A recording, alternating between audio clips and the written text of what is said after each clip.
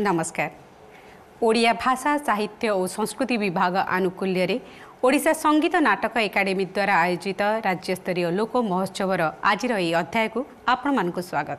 ସିଂହବାଦ୍ୟ ପଶ୍ଚିମ ଓଡ଼ିଶାର ଏକ ଅତି ପ୍ରାଚୀନ ଲୋକବାଦ୍ୟ। ପୂର୍ବରୁ ବରଯାତ୍ରୀ ସମୟରେ ଏହି ବାଦ୍ୟ ଦେଖିବାକୁ ମିଳୁଥିଲା। ସେମାନେ ନିଶାନରେ ଗୋଟେ ସିଂହ ଲଗାଇ ବିଭିନ୍ନ ପ୍ରକାର କ୍ରୀଡ଼ା କୌଶଳ ପରିବେଷଣ କରୁଥିଲେ ଯାହା ଅତି ଆକର୍ଷଣୀୟ ଥିଲା। ଧୀରେ ଧୀରେ ଏହି ଲୋକନୃତ୍ୟ ବା ଏହି ଲୋକକଳା ଆମ ସମାଜରୁ ହଜିଯିବାକୁ ବସିଛି। ତେଣୁ ସଙ୍ଗୀତ ନାଟକ ଏକାଡେମୀ ଗୋଟିଏ ଛୋଟିଆ ପ୍ରୟାସ କରିଛି ଏହି ଲୋକକଳାକୁ ବଞ୍ଚେଇ ରଖିବା ପାଇଁ ଏବଂ ଆପଣଙ୍କ ସମ୍ମୁଖରେ ପରିବେଷଣ କରିବା ପାଇଁ। ଆଜି ଏହି ନୃତ୍ୟ ପରିବେଷଣ କରୁଛନ୍ତି ପଇଁରି ସୁବର୍ଣ୍ଣପୁରର କଳାକାରମାନେ।